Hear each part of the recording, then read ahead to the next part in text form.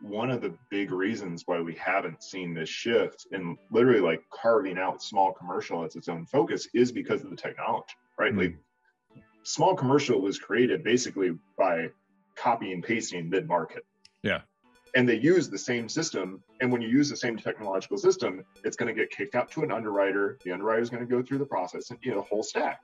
And that's fine when you have a policy that's on average eighty thousand dollars. Yeah.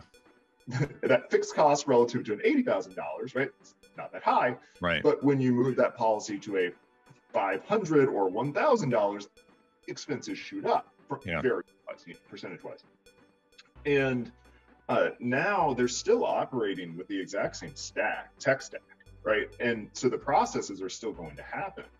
Um, I, a lot of them are are not willing to invest that much to carve out that small commercial end of itself. Some are, uh, but it's expensive relative to the policies that are going to come in.